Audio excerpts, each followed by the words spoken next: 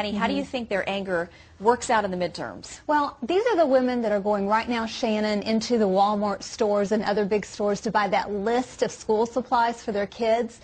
These job numbers and the economic numbers and the outrageous government spending is sticking in their craw. And so you're, what you're seeing in these numbers come out is that angst.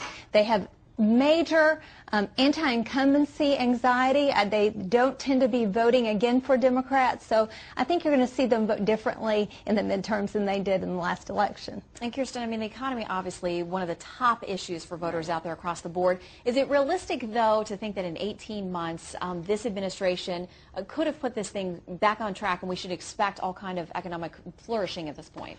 No, I don't think that it's realistic, but I think there are people out there who feel that it's not on the right track. Had your kids, had your wife, had your kids, had your wife, had your kids, had your wife.